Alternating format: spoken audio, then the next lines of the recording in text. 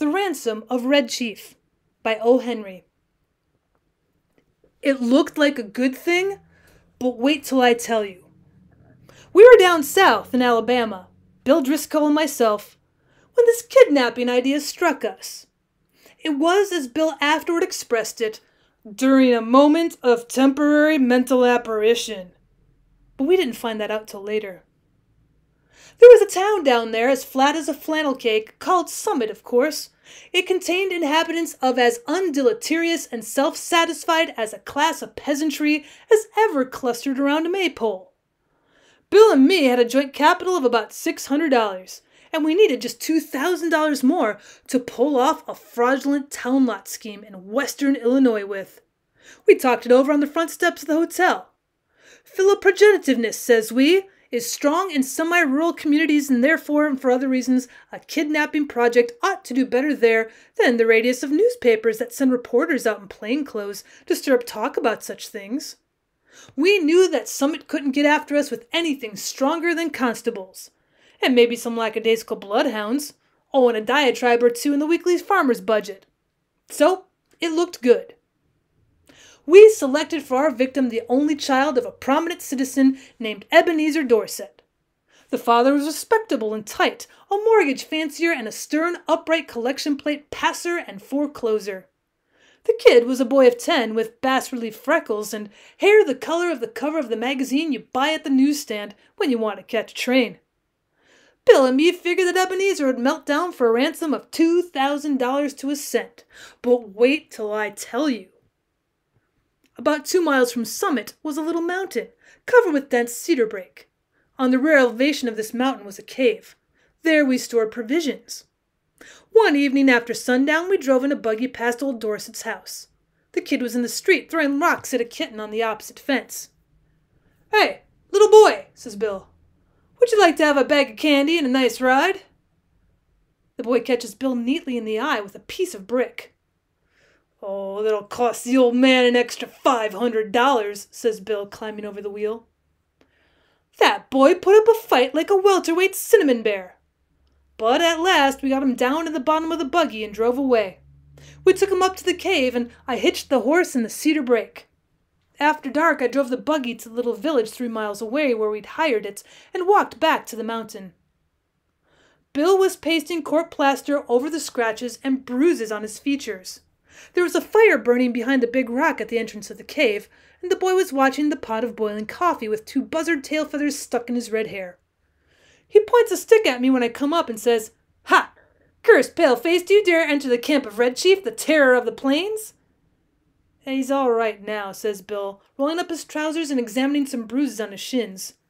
We're playing Indian. We're making Buffalo Bill's show look like magic lantern views of Palestine in the town hall. I'm old Hank the Trapper. Red Chief's captive, and I'm about to scalp at daybreak. By Geronimo, that kid can kick hard. Yes, sir, that boy seemed to be having the time of his life.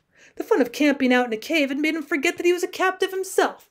He immediately christened me Snake Eye the Spy, and announced that when his braves returned from the warpath, I was to be broiled at the stake of the rising sun. Then we had supper, and he filled his mouth full of bacon and bread and gravy and began to talk. He made a during dinner speech, something like this. Oh, I like this fine. I never camped out before, but I had a pet possum once, and I was nine last birthday. Oh, I hate to go to school. Rats ate up 16 of Jimmy Talbot's aunt's speckled hen's eggs. Hey, are there any real Indians in these woods? I want some more gravy.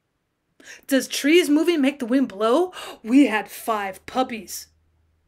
What makes your nose so red, Hank? My father has lots of money. Are the stars hot? I whipped Ed Walker twice on Saturday. I don't like girls. You doesn't catch toads unless with a string. Do oxen make any noise? Why are oranges round? Have you got beds to sleep on in this cave? You know Amos Murray? He's got six toes. A parrot can talk, but a monkey or a fish can't. How many does it take to make twelve? Every few minutes, he'd remember that he's a pesky redman, and he'd pick up his stick rifle and tiptoe to the mouth of the cave to, rub, uh, to rubber for the scouts of the hated paleface, and now and then he'd let out a war whoop that made old Hank the Trapper shiver. That boy had Bill terrorized from the start. Hey, Red Chief, I said to the kid, would you like to go home? Aw, what for? says he. I don't have any fun at home and I hate to go to school. I like to camp out. You won't take me back home again, Snake Eye, will you? Not right away, says I. We'll stay here in the cave a while. All right, says he. That'll be fine. I've never had such fun in all my life.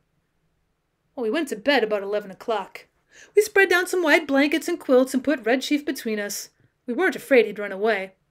But he kept us awake for three hours, jumping up and reaching for his rifle and screeching, Hist! Pard! in mine and Bill's ears as the fancied crackle of a twig or the rustle of a leaf revealed to his young imagination the stealthy approach of an outlaw band. At last I fell into a troubled sleep and dreamed that I'd been kidnapped and chained to a tree by a ferocious pirate with red hair. Just at daybreak, I was awakened by a series of awful screams from Bill. They weren't yells or howls or shouts or whoops or yops such as you'd expect from a manly set of vocal organs. They were simply indecent. They were terrifying and humiliating screams, such as women emit when they see ghosts or caterpillars. It's an awful thing to hear a strong, desperate fat man scream incontinently at cave at daybreak. I jumped up to see what the matter was. Red Chief was sitting on Bill's chest with one hand twined in Bill's hair. In the other he had the sharp cased knife we were used for slicing bacon, and he was industriously and realistically trying to take Bill's scalp, according to the sentence that had been pronounced upon him the evening before. Well, I got the knife away from the kid and made him lie down again. But from that moment, Bill's spirit was broken. He laid down on his side of the bed, but he never closed an eye again in sleep as long as that boy was with us. I dozed off for a while, but along towards sunup I remembered that Red Chief had said I was to be burned at the stake at the rising of the sun. I wasn't nervous or afraid, but I sat up and lit my pipe and leaned against a rock. What are you getting up so soon for, Sam? asked Bill. Me? says I. Oh, I, I kind of got a pain in my shoulder. I thought sitting up would rest it. You're a liar, says Bill. You're afraid. You was to be burned at sunrise, and you was afraid he'd do it. And he would, too, if you could find a match. Ain't it awful, Sam? Do you think anybody will pay out money to get a little imp like that back home? Well, sure, said I. A rowdy kid like that is just the kind that parents dote on. Now you and the chief get up and cook breakfast while I go up on the top of this mountain and reconnoiter. I went up on the peak of the little mountain and ran my eye over the contiguous vicinity. Over towards summit I expected to see, see the sturdy yeomanry of the village armed with scythes and pitchforks beating the countryside for the dastardly kidnappers. But what I saw was a peaceful landscape dotted with one man plowing with a dun mule. Nobody was dragging the creek. No couriers dashed hither and yon, bringing tidings of no news to the distracted parents. There was a sylvan attitude of somnolent sleepiness pervading that section of the external outward surface of Alabama that lay exposed to my view. Perhaps, I said to myself, it has not yet been discovered that the wolves have borne away the tender lambkin from the fold. Heaven help the wolves, said I, and I went down the mountain to breakfast. When I got to the cave, I found Bill backed up against the side of it, breathing hard, and the boy threatening to smash him with a rock half as big as a coconut. He put a red hot boiled potato down my back, explained Bill, and then mashed it with his foot, and I boxed his ears. Have you got a gun about you, Sam? I took the rock away from the boy and kind of patched up the arguments. I'll fix you, says the kid to Bill. No man ever yet struck the Red Chief but what he got paid for it. You better beware. After breakfast, the kid takes a piece of leather with strings wrapped around it out of his pocket and goes outside the cave unwinding it. Oh, what's he up to now? says Bill anxiously. You don't think I'll run away, do you, Sam? No fear of it, says I. You don't seem to be much of a homebody, but I've got to fix up some plan about the ransom. There don't seem to be much excitement around Summit on account of his disappearance, but Maybe they haven't realized it yet and that he's gone. His folks may think he's spending the night with Aunt Jane or one of the neighbors. Anyhow, he'll be missed today. Tonight we must get a message to his father demanding the $2,000 for his return. Just then we heard a kind of war whoop such as David might have emitted when he knocked out the champion Goliath. It was a sling that Red Chief had pulled out of his pocket, and he was whirling it around his head. I dodged and heard a heavy thud and a kind of sigh from Bill, like a horse gives out when you take his saddle off. A big piece of rock the size of an egg had caught Bill just behind his left ear. He loosened himself all over and fell in the fire across the frying pan of hot water for washing the dishes. Well, I dragged him out and poured cold water on his head for a half an hour. By and by, Bill sits up and feels behind his ear and says, Sam, do you know who my favorite biblical character is? Take it easy, says I. You'll come to your senses presently. King Herod, says he. You won't go away and leave me here alone, will you, Sam?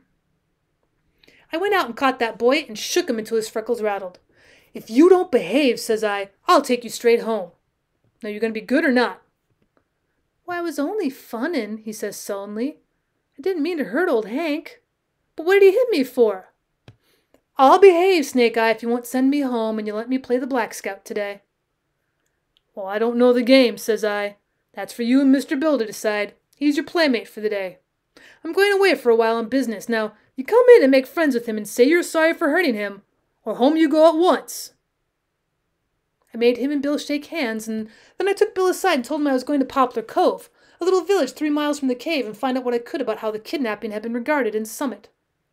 Also, I thought it best to send a peremptory letter to old man Dorset that day, demanding the ransom and dictating how it should be paid.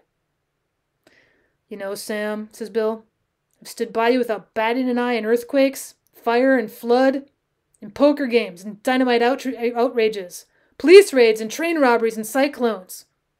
I never lost my nerve yet till we kidnapped that two legged skyrocket of a kid. He's got me going. You won't leave me long with him, will you, Sam?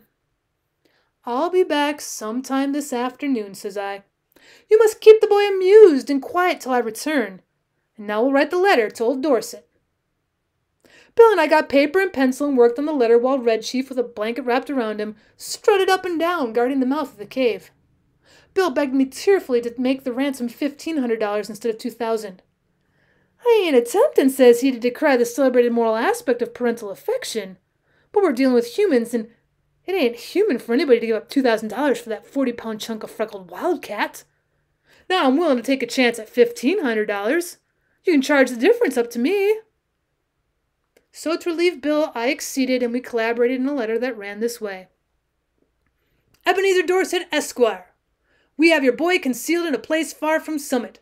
It is useless for you or the most skilful detectives to attempt to find him. Absolutely, the only terms on which you can have him restored to you are these. We demand $1,500 in large bills for his return. The money to be left at midnight tonight at the same spot in the same box as your reply, as hereinafter described. If you agree to these terms, send your answer in writing by a solitary messenger tonight at half past eight o'clock. After crossing Owl Creek on the road to Poplar Cove, there are three large trees about a hundred yards apart, close to the fence of the wheat field on the right hand side.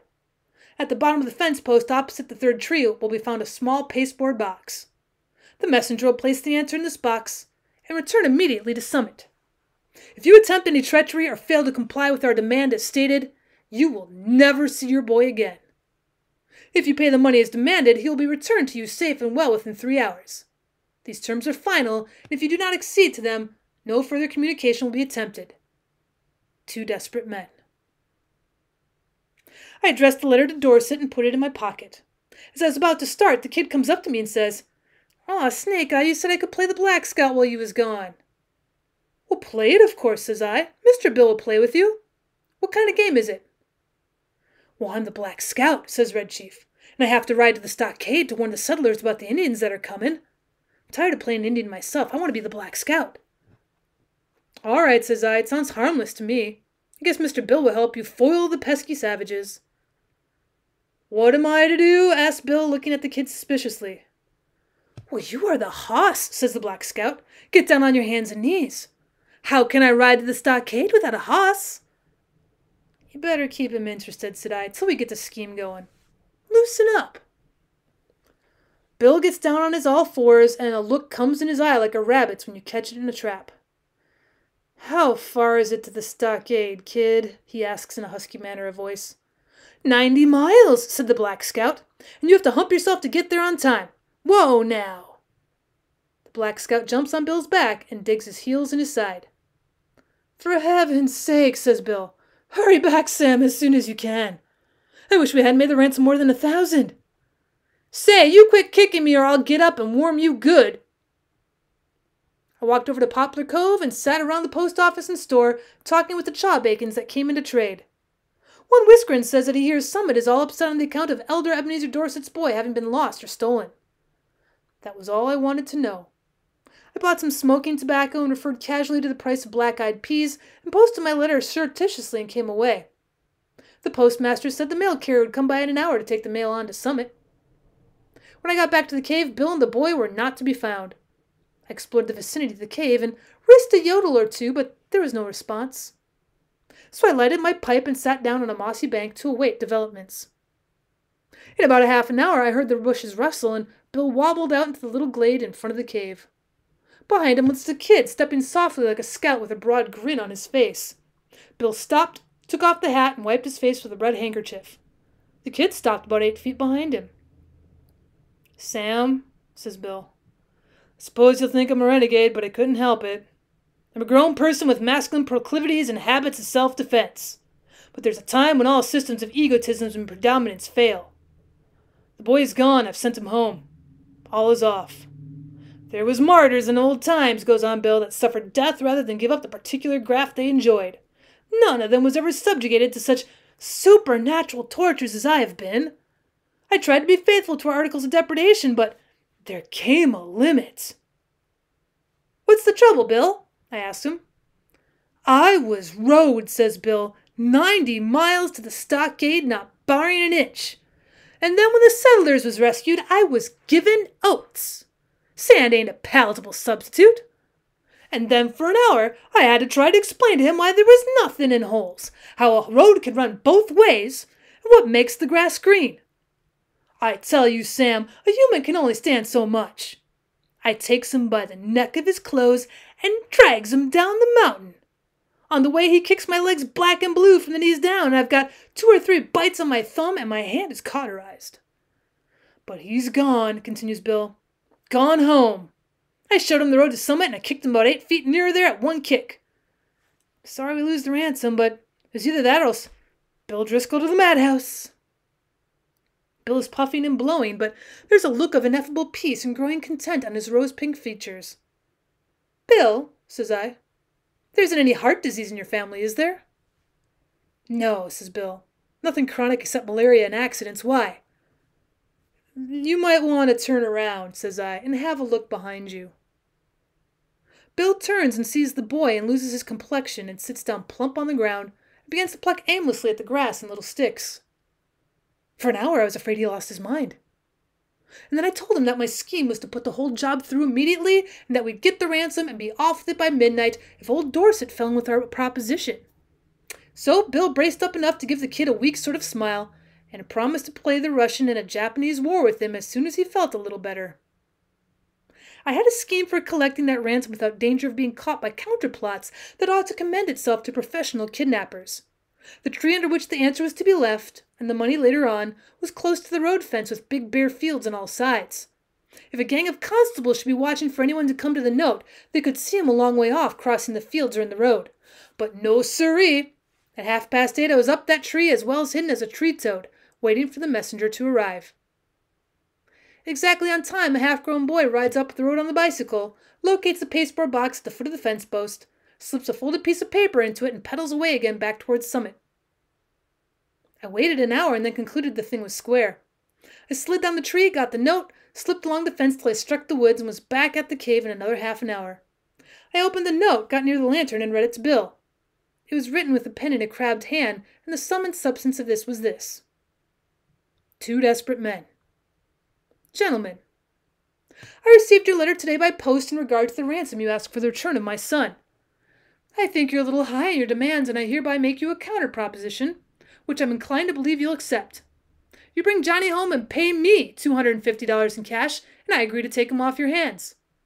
You'd better come at night, for the neighbors believe he's lost, and I couldn't be responsible for what they would do to anybody if they saw him bringing, being brought back. Very respectfully, Ebenezer Dorset. Great pirates of Penzance, says I. Of all the impudence! But I glanced at Bill and hesitated. He had the most appealing look in his eyes I ever saw on the face of a dumber talking brute. Sam, says he, what's $250 after all? We've got the money. One more night of this kid will send me to a bed in Bedlam. Besides being a thorough gentleman, I think Mr. Dorset is a spendthrift for making us such a liberal offer. You ain't gonna let the chance go, are you? Tell you the truth, Bill, says I, This here little ewe, ewe lamb has got some of my nerves, too. We'll take him home, pay the ransom, and make our getaway. We took him home that night. We got him to go by telling him that his father had brought a silver mounted rifle and a pair of moccasins for him, and we were going to hunt bears the next day. It was just twelve o'clock when we knocked at Ebenezer's front door. Just at the moment when I should have been abstracting the fifteen hundred dollars from the box under the tree, according to the original proposition, Bill was counting out two hundred and fifty dollars into Dorset's hand. When the kid found out we were going to leave him at home, he started up a howl like a calliope and fastened himself as tight as a leech to Bill's leg. His father peeled him away gradually like a porous plaster. How long can you hold him? says Bill. Oh, I'm not as strong as I used to be, said old Dorset, but I think I can promise you ten minutes. Enough, says Bill. In ten minutes I shall cross the central, southern, and middle western states and be legging it trippingly for the Canadian border. As dark as it was, and as fat as Bill was, and as good as runner as I am, he was a good mile and a half out of Summit before I could catch up with him.